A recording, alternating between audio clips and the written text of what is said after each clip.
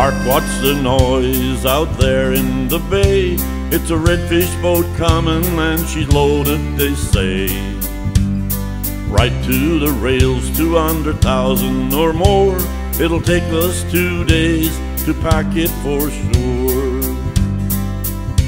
There's another one due to come in Wednesday night.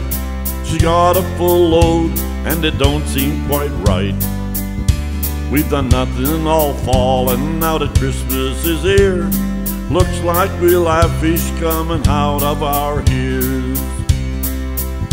Herring seiners are out and they're looking for fish. They won't get too much if the plant crew gets their wish. With only three days until Christmas is here, they'd like a little time to shop and prepare. With our parties this week, it's hard on the crew to work these long hours and with a hangover too. Some people are so sick they wish they were dead, or at least be able to stay home in bed. Now the weather is cold and it chills to the bone, unloading those boats in snow squalls and storms.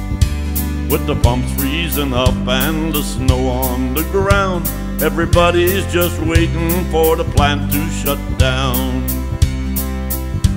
Every year around Christmas, it's always the same.